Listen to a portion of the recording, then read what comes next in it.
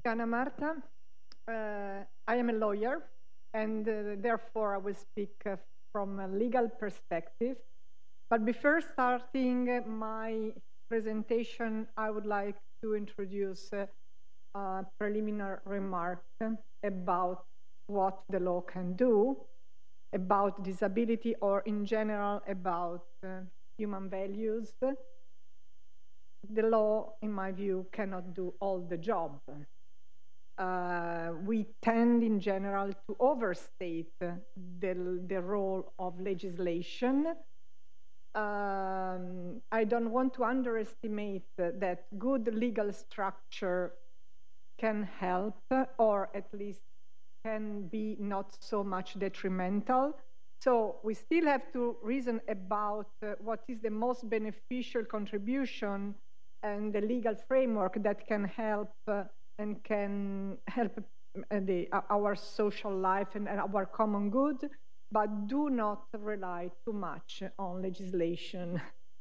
Uh, having said that, and I was very much sympathetic with Baroness Stolnitz when she says now that I'm a lawmaker. I understand that law uh, is not that helpful or maybe also unhelpful for the situation of people with disability. Having said that, uh, let's start from a point that uh, everybody considers as a turning point in the history of the legislation about disability, which is the UN Convention of Rights uh, of persons with disabilities. Uh, it was uh, really a big change in our social understanding of disability because it put uh, human dignity in the center, speaks about fundamental rights, helped and pushed uh, uh, social institution uh, in advancing inclusivity, um, removing discrimination, prejudice, and stigma. And there is a big change that we are witnessing, especially in Europe in this context, that is described in the paper. The paper, I apologize, is much too long. I will summarize some essential points on which I would like to draw your attention. Why the Convention of the United Nations is so important, uh, I think that has already been said by the previous uh, speakers, in particular by Matilde Leonardi, where she uh, highlighted that the idea behind the convention, and I quote the first article, is that persons with disability include those who have long-term physical, mental, intellectual, or sensory impairments, which in interaction with various barriers uh, may hinder their full and effective participation in society on an equal basis with others. So in the, the big contribution of the convention is that it stresses the idea that disability is not a physical, or mental, or sensorial impairment as such. An impairment, weakness, dysfunction become an issue of disability in the interaction with the surrounding context, environment, where barriers and obstacles become an impediment to social participation. That's why lawyers has some, have something to do because we can work not on the side of the impairments, but at least on the side of the social barriers. Um,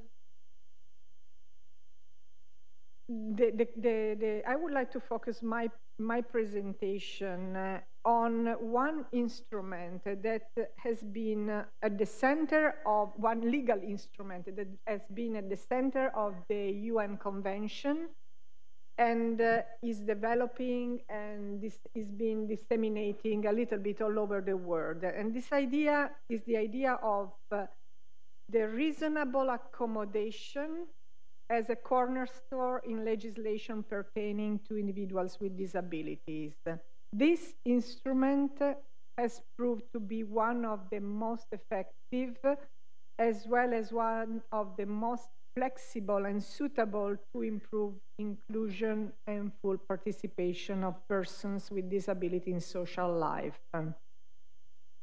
In fact, the convention, according to that definition of disability, requires much more than refraining from open and direct discrimination, nor are sufficient in the ideas of the convention the traditional economic benefits and social services or medical treatments which are relevant but not enough provided by the legislation on this matter. The effort required by the Convention is to remove as much as possible the factual barriers that in the standard, let's say, daily life, in fact, hinder the participation of disabled people in social life. What is reasonable accommodation? This instrument, to my knowledge, took origin in Canadian anti-discrimination law. It requires uh, all kind of subjects, employers, landlords, public and private service providers, uh, uh, to accommodate the need of individuals in order to ensure that they can enjoy equal opportunity in social life. This could mean, for example, permitting an employee not to work uh, on a religious holiday or create an appropriate workplace uh, for a person with physical disability. In Canada, reasonable accommodation applies to all forms of discriminations based on sex, gender, ethnic origin, color, age, religion, and indeed disability. It is widely applied in labor law but it has a larger scope of application. Eventually, in the 90s, reasonable accommodation became very influential in the American law with the American uh, with Disability Act of the 1990, and not surprising then at the time of the negotiations of the UN Convention, reasonable accommodation was at the center of the legal framework, and it is defined at Article 2. Reasonable accommodation means necessary and appropriate modification and adjustment of the environment, not imposing a disproportionate or undue burden were needed in a particular case to ensure to persons with disability the enjoyment or exercise on an equal basis with others of all human rights and fundamental freedoms. All human universal rights, but in an individual uh, feature, in an individual kind of application. Similar definition is provided by the EU directive of 2000. I'm not going to repeat and to reread the definition. There are some five features of this instrument, these legal instruments that in my view are valuable or at least are interesting to debate. First, the duty to accommodate eh, is an obligation for public as well as for private actors. Reasonable accommodation is widely applied in labor law so that the duty to accommodate falls first of all on employers. Yet the same duty bounds local and national institutions, schools, other educational facilities, sport facilities, movie theaters, commercial activities, music institutions, prisons, and other infrastructure. I provide a number of cases and examples. I do not have those beautiful stories uh, to tell you in order to explain how things work, but at least in case law we can find concrete example of, uh, of life. For example, I just mentioned a case uh, from the European Court of Human Rights of 2016 so where a student was refused by the Turkish National Music Academy because she was blind. The applicant was completely qualified for admission to the academy, and the refusal had been based only and solely on her disability. The court said that the failure to accommodate, to provide reasonable accommodation to facilitate access for such a student was a form of discrimination. So, you know, just an example to see how universal can be and how demanding from all kind of social actor is this instrument in prisons is very important. We have a number of people with mental or physical disabilities in prisons, and this is a huge problem of our uh, detention centers. But I don't want to insist too much on this. The second feature that I've already mentioned uh, illustrating the previous case is that the unjustified refusal to pro provide reasonable accommodation is considered a form of discrimination. You know, not just direct discrimination, but somebody who does not at least uh, uh, try to provide this reasonable accommodation is discriminating against the person with disability. And the UN Convention expressly provide in this sense in Article 2 and 5 the jurisprudence of the European courts, uh, both uh, in the Council of Europe and uh, the European Union, consistently applies this principle. Third, uh, this is one of the features that I consider the most relevant. One of the distinctive features of reasonable accommodation is that it triggers a process.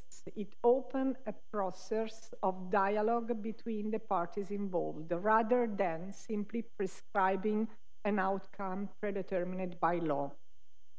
Law not as a provider of solution and result, but as demanding to open a dialogue and the process uh, of the process that the result of which can vary case by case Sometimes it can achieve the expected result by the person with disability. In other cases, the request proves to be impossible or too burdensome. The result of reasonable accommodation cannot pre be pre-established. The law is prescriptive in the sense that it mandates to start a process and fixes some essential rules of the game, but the solution is to be found in dialogue with all the parties involved. What is relevant is that it calls upon all the parties to be creative and sincere in negotiating and finding solution. This is, in my view, an interesting aspect of this legal instrument because it urges the parties to engage in a relationship. The duty holder and the individual seeking for accommodation are expected to work together to develop a mutual understanding of reciprocal needs and constraints and to get to a solution that can be reasonable for, and sustainable for all the parties. It is based on a paradigm of trust in social relations rather than distrust and coercion.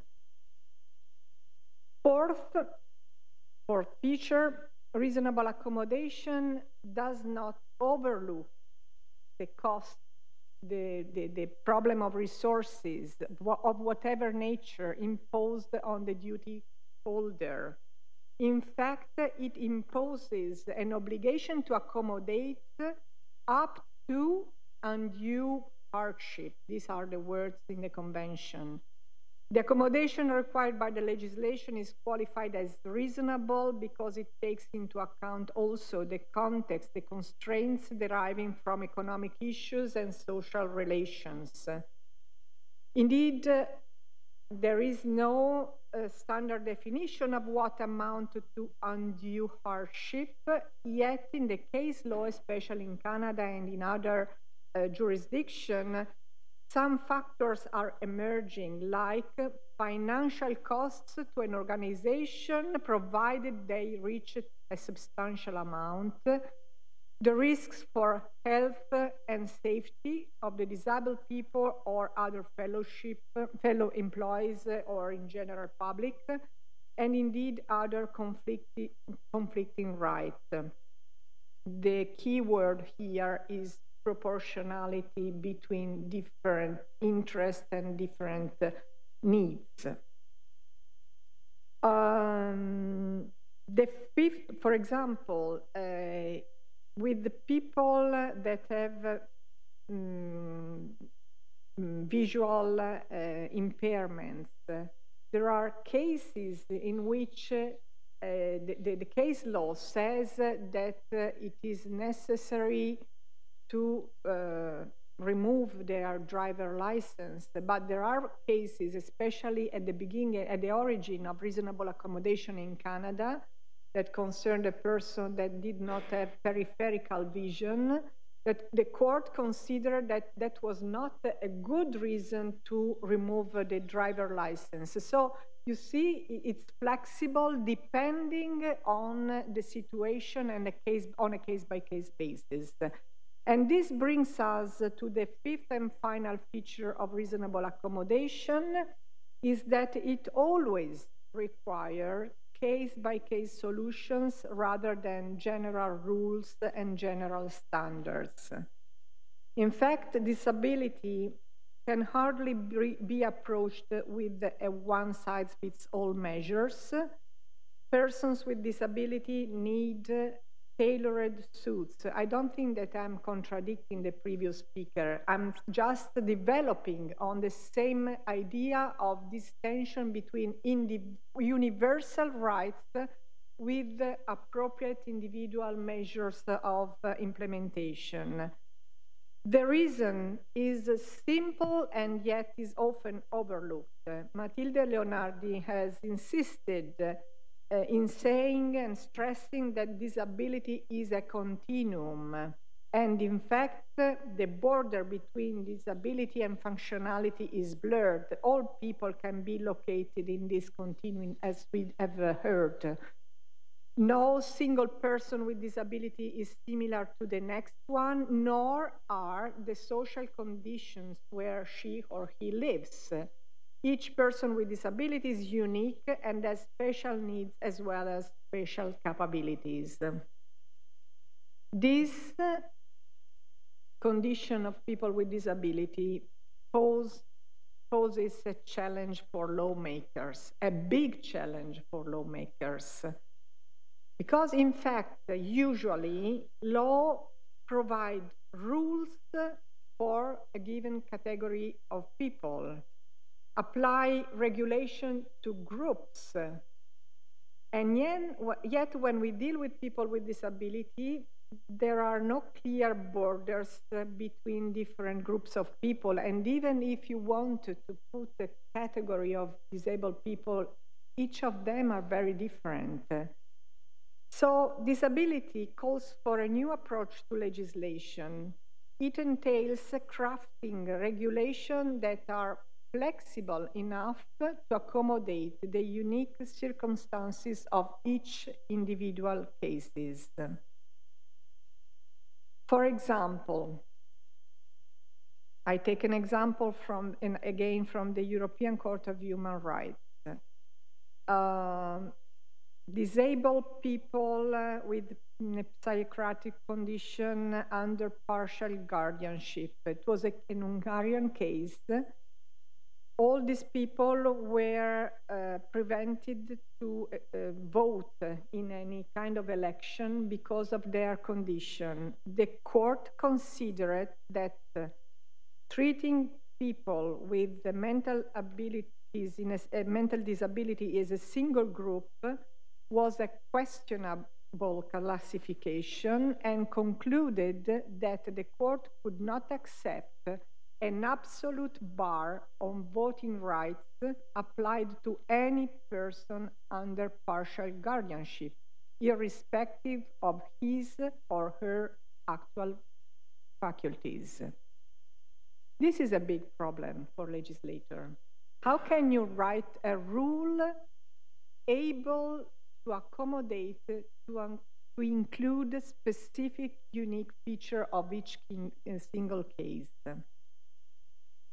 But it is interesting because it is a challenge, in my view, that concerns not only uh, the fields of disability, but many other situations.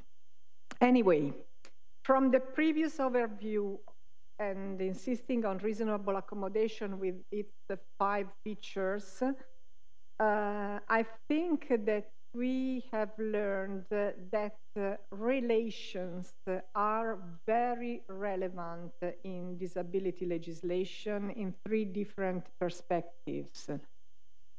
First, disability impacts not only for the good or for the bad.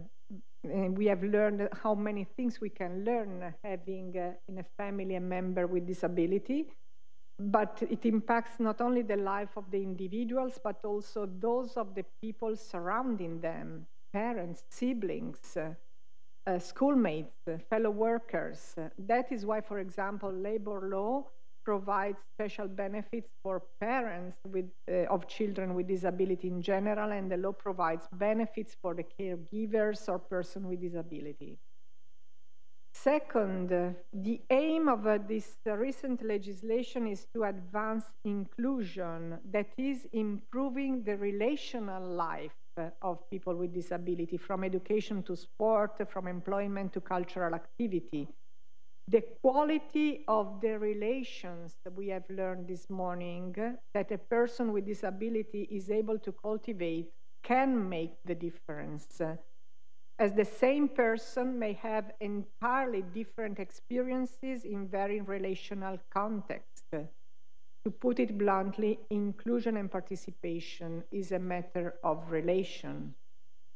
Thirdly, as we have heard, the cornerstone of disability legislation is reasonable accommodation, which implies a relational approach rather than a rules-based one.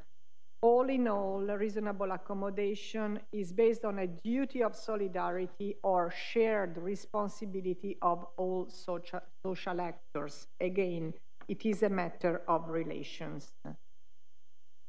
I would like to conclude on this note with a few more comments if I have a few minutes. Uh, two or three minutes. Okay, I will try to go to go very quickly. Um, let me read the, the, the first words of a book that I consider that changed a little bit my perspective about legislation some years ago. It's a book written by Jennifer Nedelsky, the title of which is Laws Relations, where she outlines a relational theory of self autonomy and law.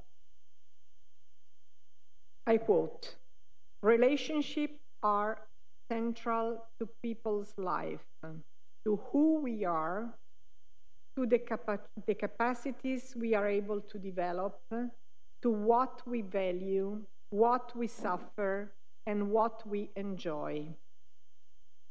And she advocates to move relationship from the periphery to the center of legal and political thought and practice. I think that she's right. She's right because we have by far underestimated, even in the legal discourse on human rights, the role of relations. Our legal culture would gain a lot from a reasoning that put relation at the center. But here we face a challenge for the years to come because even the UN convention that was so beneficial eh, still insists and reflects, eh, in my view, an individualistic culture of human rights eh, where human dignity is considered as an equivalent of autonomy and independence, which is important but in, especially in the realms of, of disability, we need to understand and to handle with care independence, self-determination, freedom of choice, and similar concepts. Because we cannot equate this concept as a sort of do it on your own, a sort of abandonment. We need to work deeper on this idea of dignity as autonomy. I have some cases, but I don't want to insist on cases because it takes too much time. Uh, there are cases of people that are uh, um, under custody with mental uh, disability problems that committed suicide and were justified by the European courts in the name of autonomy and independence. And there were some important dissenting opinions of some judges saying, be careful, because we cannot overlook the vulnerable, vulnerable situation of these people in order to stress their autonomy. I think that there is a lesson to be learned from these tragic cases uh, for all, not only for people with disability, because it's a matter of, of realism. Living independently cannot be interpreted as living on our own not for nobody in our contemporary society, nobody is completely independent. As a matter of fact, we live in a state of mutual interdependence. And I think that a lot of a good contribution can derive from the reading of the last works by Chiara Giaccardi and Mauro Magatti, where they insist on the idea of interdependence they do not artificially separate the claim for autonomy and freedom from the need for connection and relationship that are intertwined in the fabric of human experience. Uh, we have heard uh, in the previous presentation uh, a number of times repeated the, the word support. I think that this is a key word, uh, not people with disability or in any case people uh, do not need to be substituted uh, in their duties, in their tasks to be discharged. But many cases they, be, they need to be supported. We need to work on the idea of autonomy with support, like, for example, we have in many experiences with the support teachers or the amministratore di sostegno, a sort of uh, uh, caretaker, support administration, administrator for the elderly or the people that uh, go through a difficult moment of their life.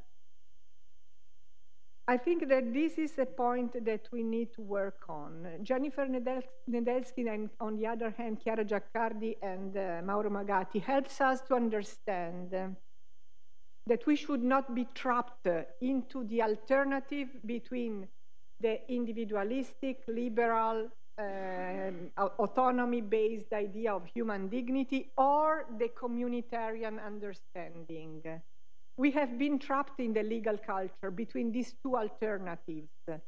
They, on the contrary, work on the idea that the capacity for autonomy can only develop and thrive when fostered by constructive relationships, such as those with partners, teachers, friends, parents, and agents of the state. This is a paradox of human experience. Autonomy requires good relations, not only at the early stages of children's development, but in all ages and in all conditions of life. I think that here there is a lesson that we can learn from the experience of people with disability as paradoxical as it may sound, in order to be autonomous, we need others. Thank you so much.